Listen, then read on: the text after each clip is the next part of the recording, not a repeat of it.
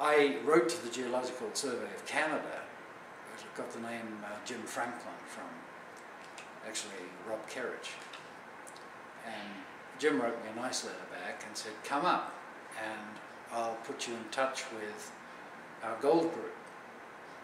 And I found out later that um, he'd gone down the corridor to Howard Poulsen and Francois Robert of the GSC Gold Group. I think they were the GSC Gold Group. And said, look, this guy is probably about 100 years old because he wrote a very silly paper called Seismic Pumping. But be nice to him for a day or two anyway. And that was amazing.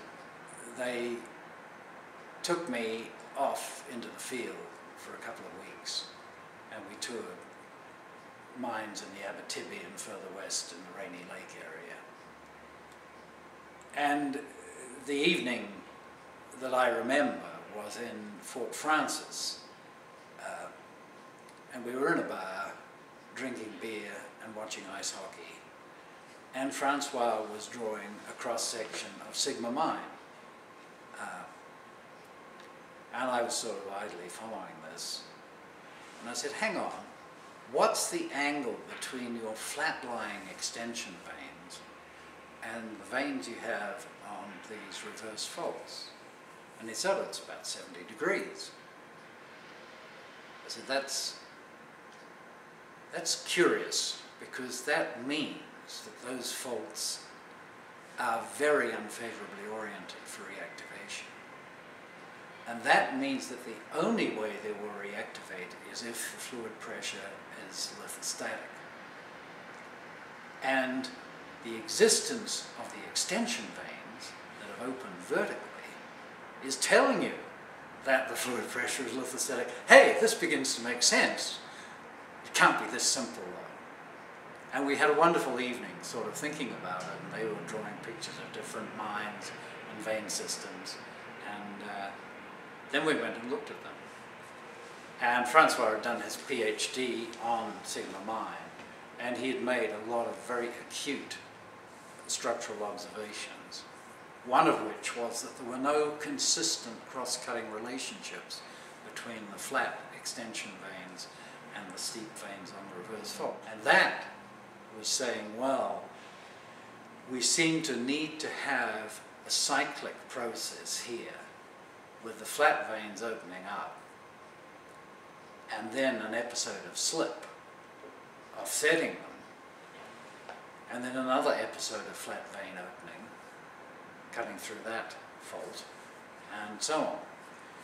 So we became more and more convinced that we were looking at stress cycling and incremental earthquake slip, and that clearly um, highly overpressured fluids were involved.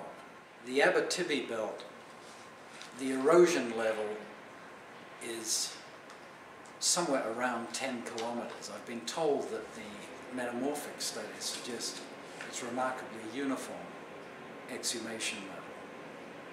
And you see 10 kilometres is getting towards the bottom of the modern seismogenic zone in continental crust. And so we were looking at the transition region, brittle to ductile, around the base of the seismogenic zone.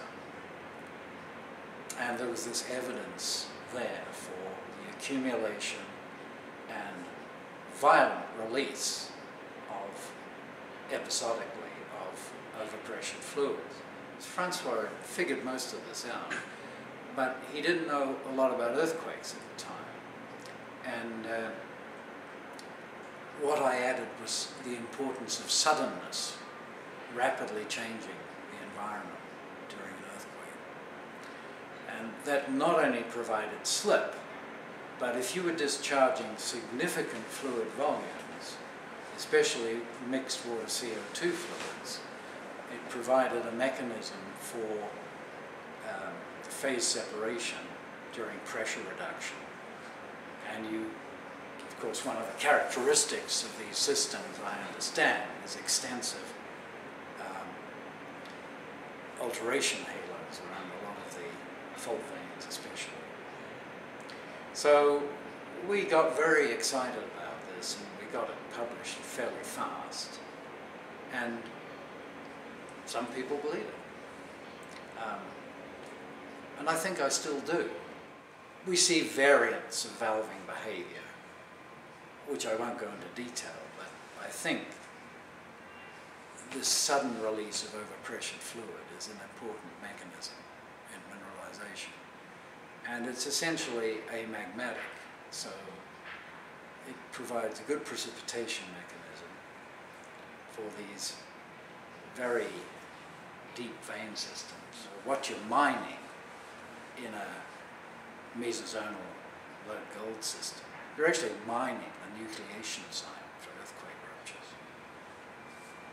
That's perhaps fantasy, but I sort of find it interesting.